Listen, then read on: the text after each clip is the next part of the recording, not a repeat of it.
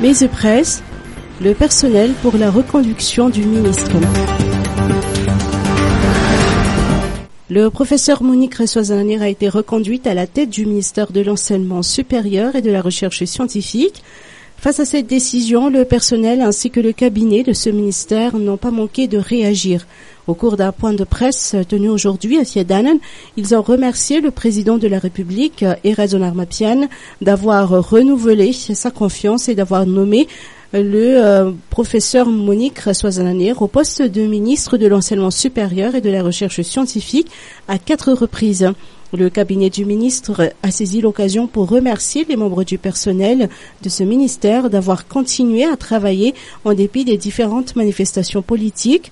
En guise de remerciement, en cette veille de la Coupe du monde de football, le cabinet de ce ministère a octroyé un décodeur Canal Plus au personnel. Les amateurs de foot pourront ainsi suivre en direct cet événement planétaire de l'année qui se déroulera en Russie.